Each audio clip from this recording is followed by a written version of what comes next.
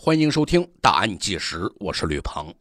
咱们今天呢说这么一个女民警爱上男囚犯的故事。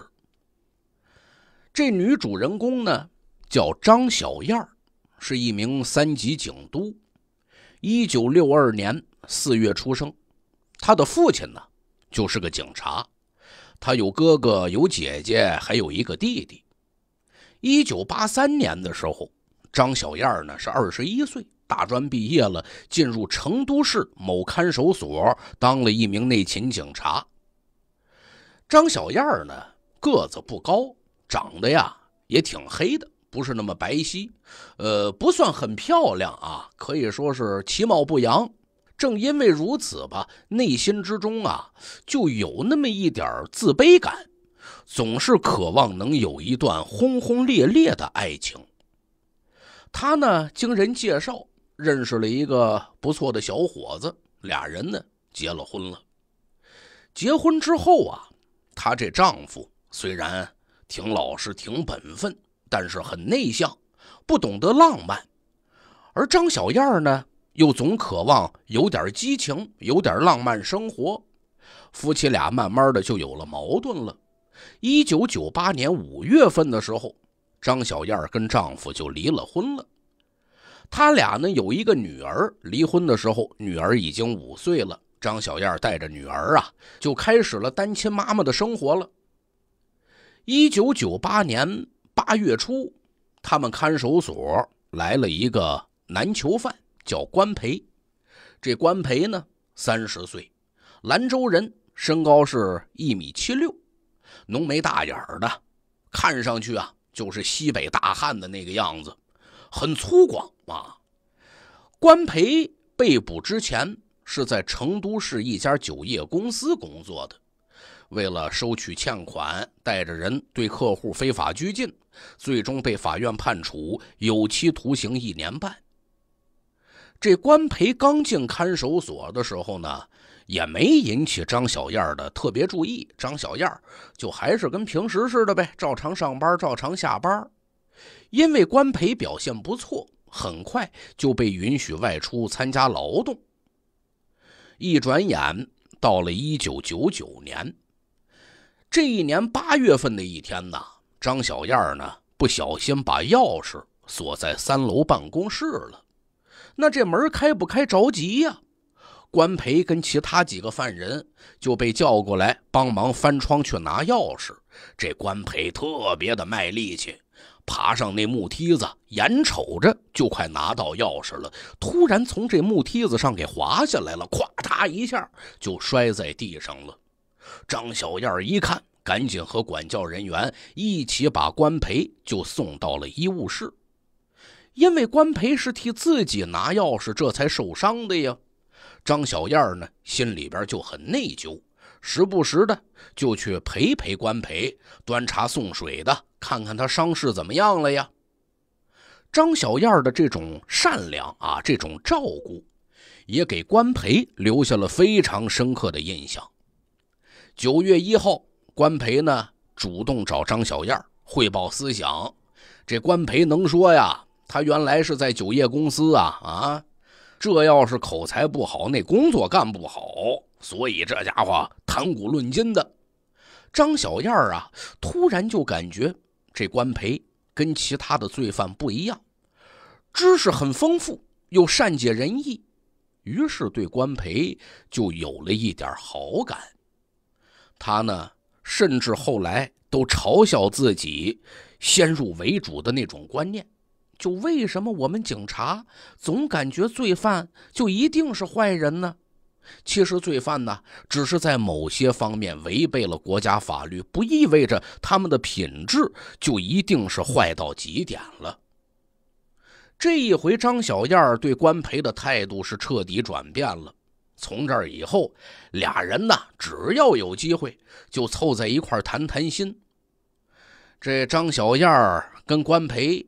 很快就成了无话不谈的好朋友了。再后来，互相喜欢，就谈起了恋爱。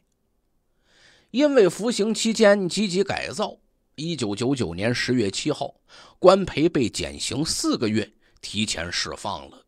出狱那天呢，张小燕啊还专门请关培吃了一顿饭，庆祝他出狱。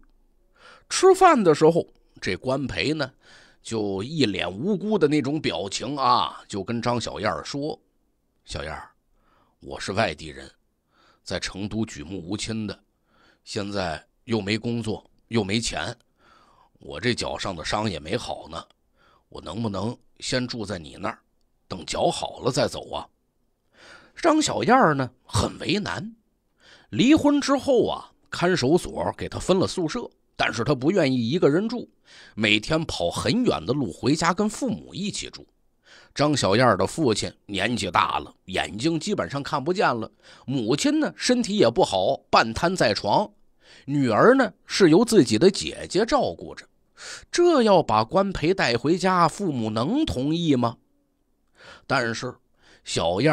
现在是深深的爱着关培，看着这个比自己小六岁的大男人，现在这种无助的样子，一下子张燕可就把持不住了。最终，爱情战胜理智，同意把关培接到父母家住。把关培带回家之后啊，可没跟父母提起来关培入狱服刑的经历。张小燕的父母。虽然自己生活的也挺困难，但还是接受了女儿的安排了，就同意关培住下来了。脚上的伤没好呢呀，关培呢白天呢就躺在床上，要不看电视，要不抱着电话往兰州打长途。晚上啊，就跟下班回来的张小燕躲在这小屋子里边，是吧？嘁哩咔嚓，卿卿我我的呗。这一天两天还好。日子长了，张燕的父母可就有点不满意了。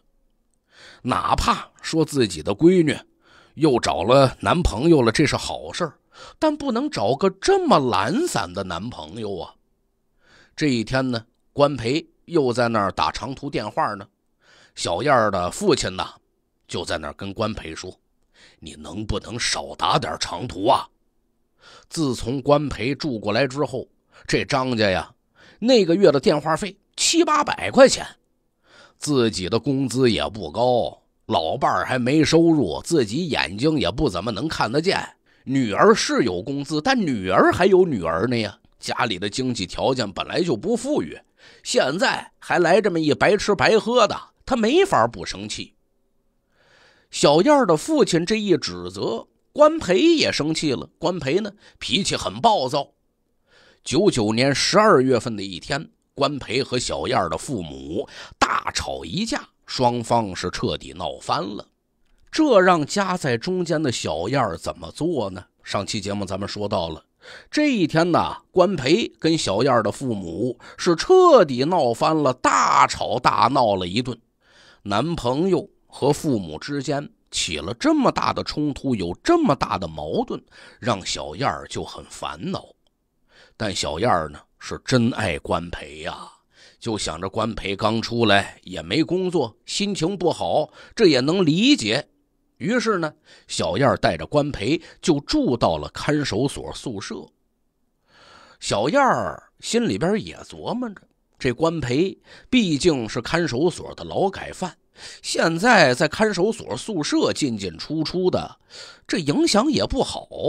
但后来再一想，我既然爱他，他既然爱我，何必在乎别人的看法呢？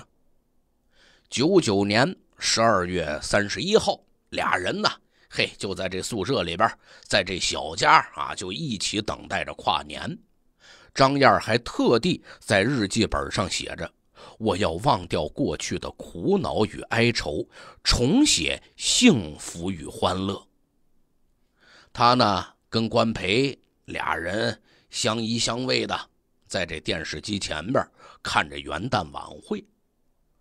等到十二点的时候，这小燕儿啊就拿起来电话，让关培呢给远在兰州的父母送个新年祝福。关培就跟父母说：“我交了个女朋友，又温柔又善良，我现在生活的可幸福了。”听关培这么一说，小燕儿这心里边啊，太幸福了，太甜蜜了。她决定我要付出我的全部，和我的爱人一起创造美好生活，是吧？他一直就是追求浪漫，追求温馨。他认为关培能够带给他这些，但他哪想得到啊？一夜之间，这关培可就变了脸了。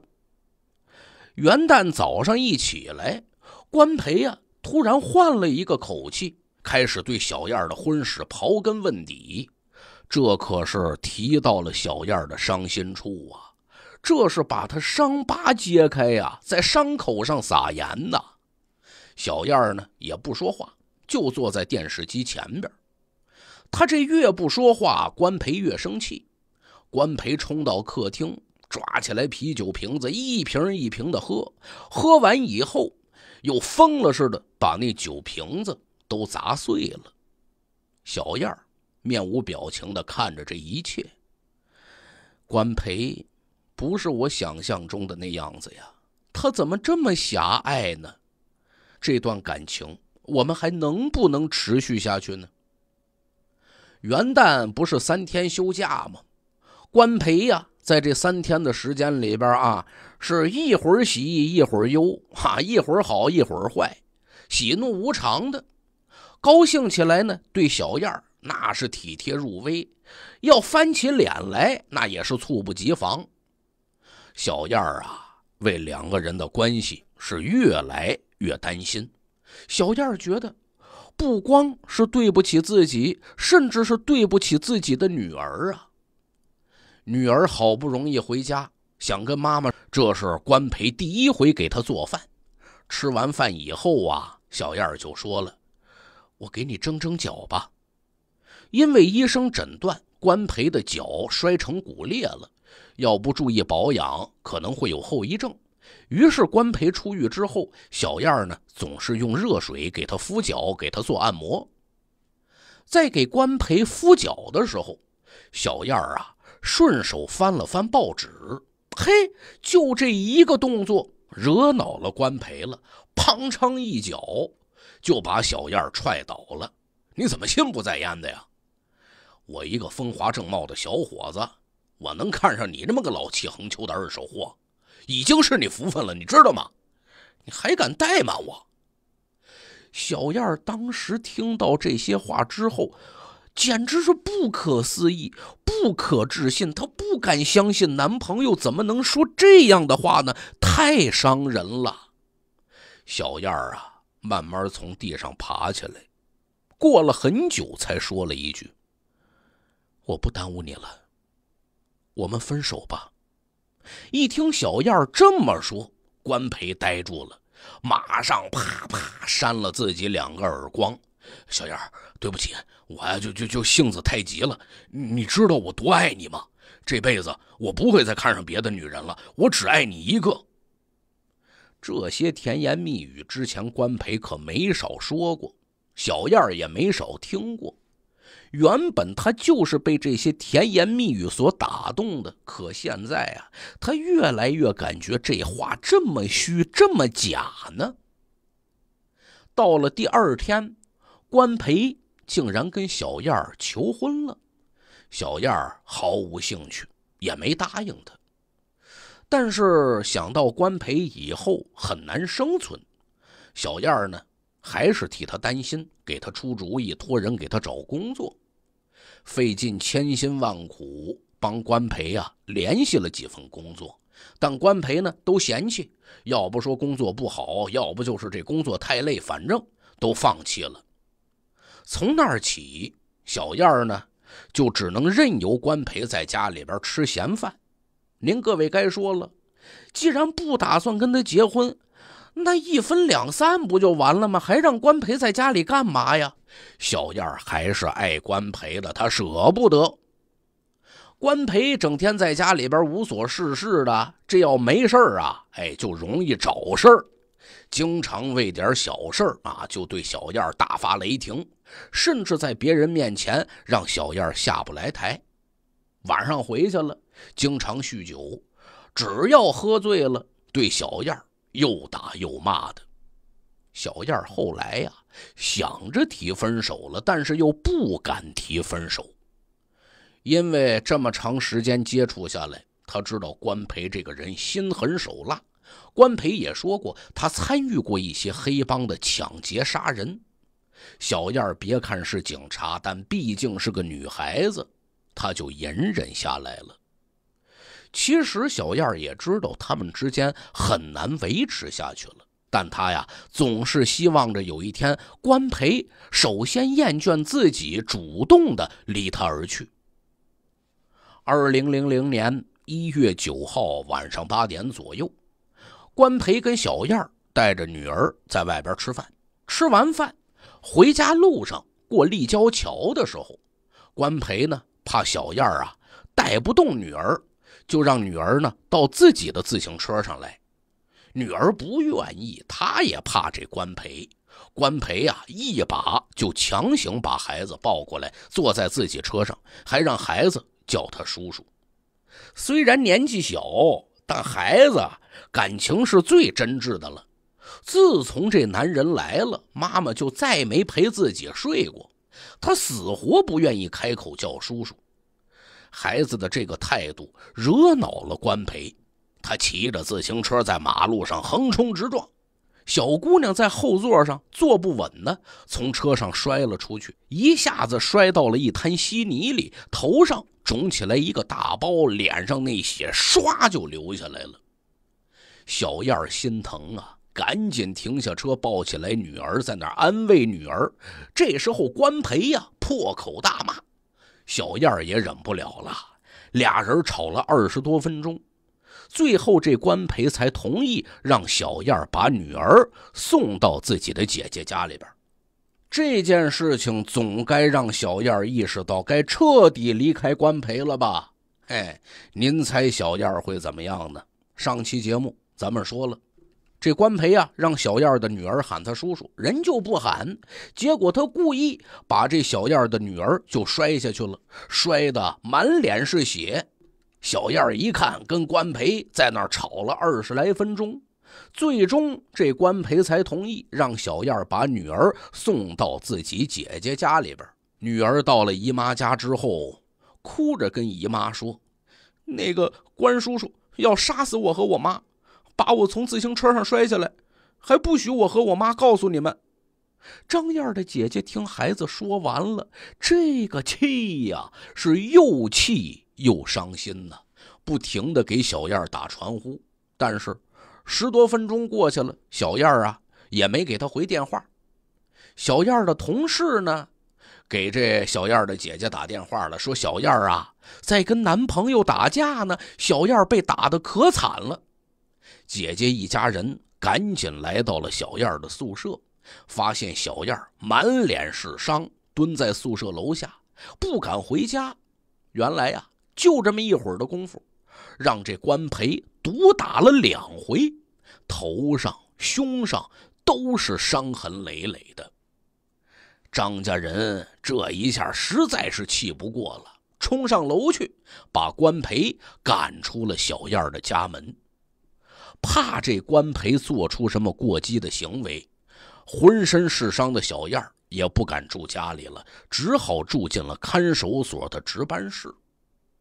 到了第二天，小燕儿啊就不停的收到关培打来的传呼啊，上边一句一句的说的可好了，就求和好呗。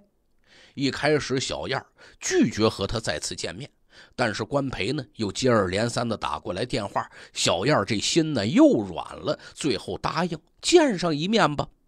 那天下午，俩人见了面了，这关培呢。假模假式的啊，倒是看着很诚恳，又认错又道歉，最后扑通一下子跪倒在地上，请求小燕给他最后一次机会。小燕看关培这样，心又软了。行啊，那我再最后一次原谅你。但是。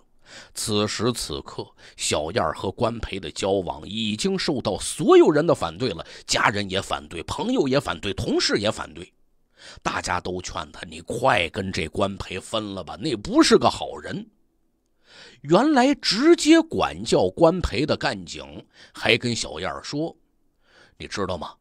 我原来啊，从来都不好意思跟你说这话，我怕伤害你。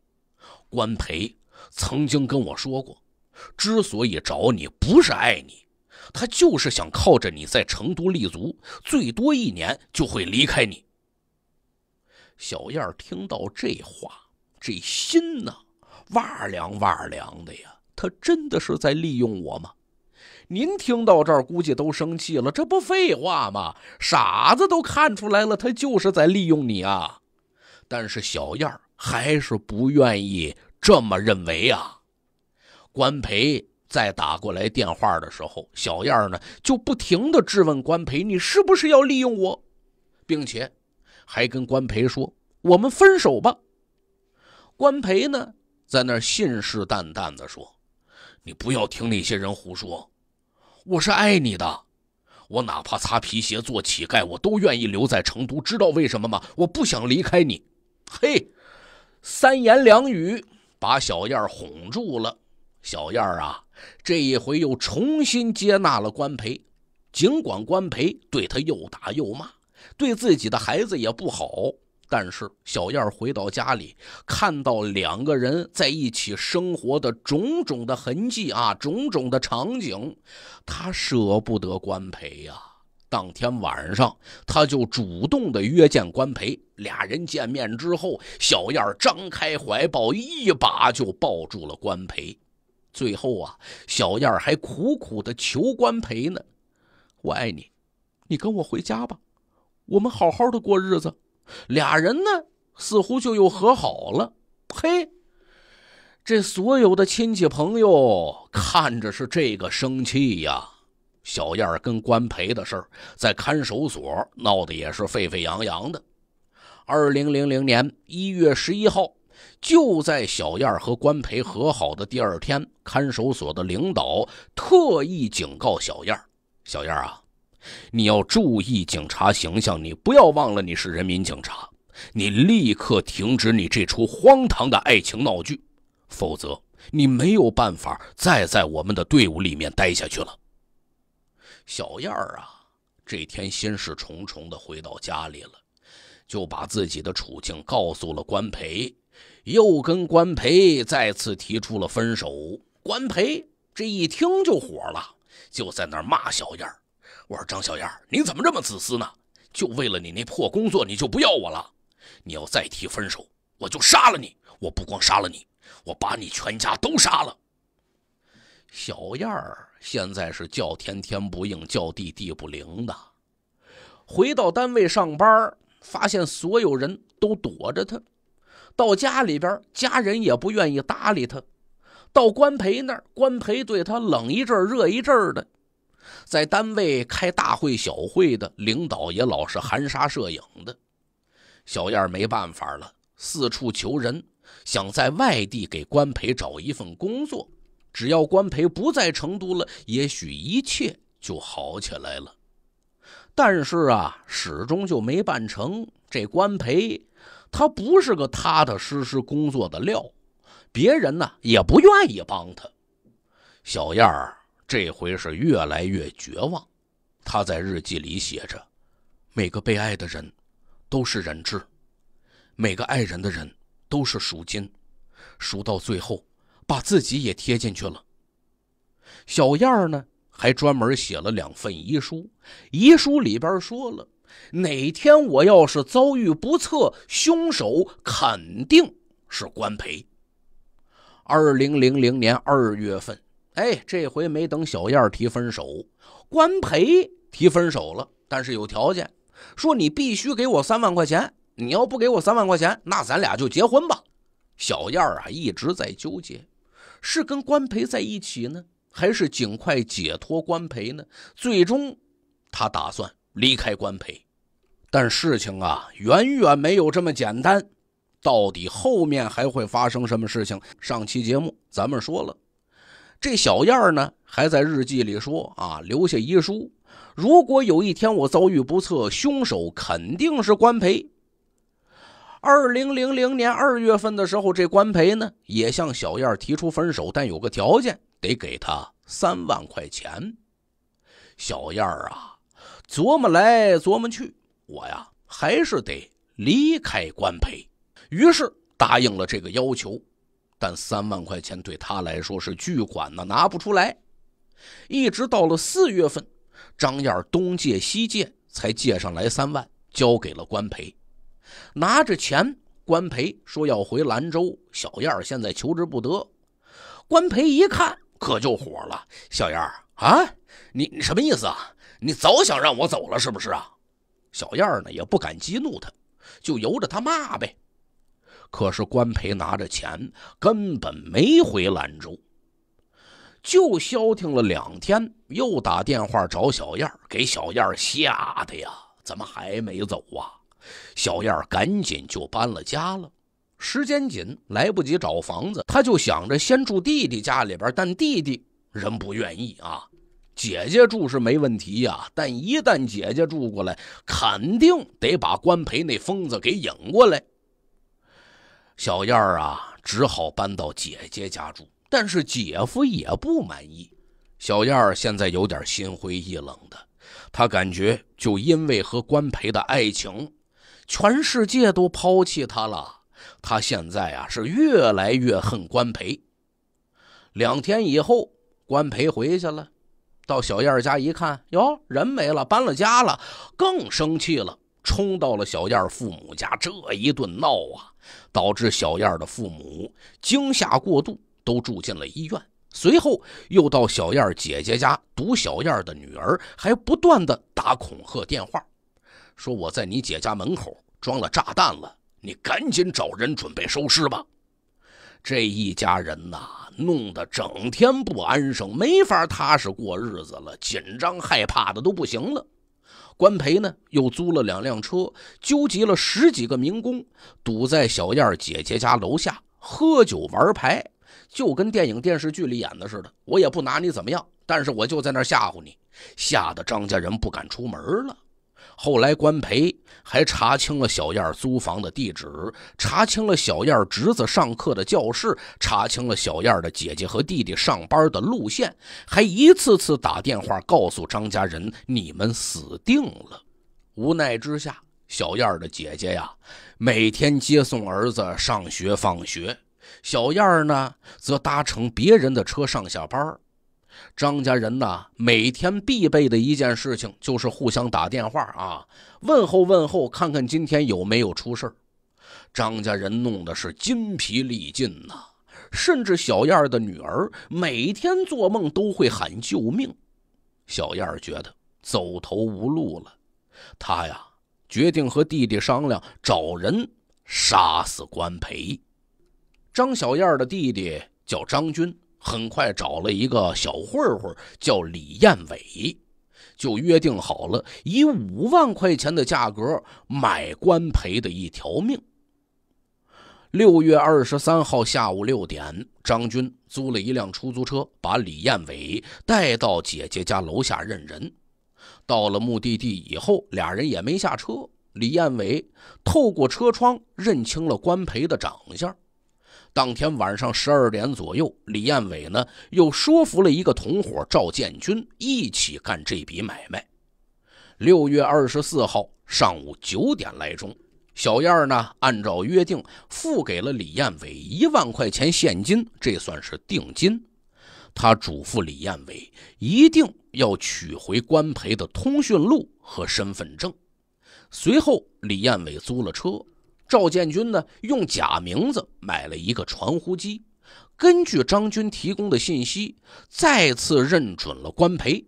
接着，俩人就开始接近关培，都是江湖混混啊，很容易就能搭上讪呢。所以呢，经过两回互请吃喝，关培呀，对赵建军还有李彦伟就特别信任了。他哪知道这俩人是收了钱要杀他的呀？六月二十七号上午，李彦伟、赵建军带着一把榔头、一桶汽油，可就上路了。跟关培呀约好了一块去喝酒去。喝得酩酊大醉之后，开着车向都江堰开了过去。当车开到都江堰市麻溪乡黎明村四组的一条小路上的时候，俩人把车就停下了。赵建军呐，拿起来榔头，朝着呼呼大睡的关培可就砸了过去，两下子就把这关培给砸死了。接着，俩人按照小燕的要求，从关培身上搜出来了身份证和通讯录，然后把关培抬下车，浇上汽油，毁尸灭迹。这事儿都做完了，俩人若无其事的把车开到都江堰，还玩了一天呢。六月二十八号凌晨，分头返回成都，把身份证和通讯录交给小燕，拿到了剩下的四万块钱的尾款，但是。俩人怎么都没想到，李彦伟的寻呼机呀，竟然掉在了凶案现场了。李彦伟发现之后，整天提心吊胆的。最后呢，他把这事儿跟自己的父亲说了，他父亲就劝他：“你呀，赶紧自首吧，你自己自首能留一条命，让警察查出你来，你这脑袋可就没了呀。”所以在父亲劝说之下，李彦伟投案自首。这起案子说到这儿，确实让人非常的感慨呀。一个三级女警督就这样栽倒在一个囚犯的头上。这官培的确很坏啊，不是个东西，不停的虐待小燕甚至是逼迫小燕但是小燕自身也有生性软弱的问题啊。同时，他用现在的话来说，这叫恋爱脑啊。一切爱情至上，很多回小燕都能够避免悲剧，但是，他首先引狼入室，随后发现关培劣迹的时候，又不愿意舍弃关培。如果当时在领导干预的时候能果断放弃，他不会被逼上绝路；如果在被官培围追堵截，甚至不停威胁的时候，能够果断的报警，果断的用法律保护自己，他也不会成为阶下囚啊。但是，这位女警督从始至终没有这样做，反而酿成大祸。行了，这个案子就为您讲到这儿，更多内容下期节目再会。吕鹏大案纪实，中外罪案实录，感谢您的收听，下期再会。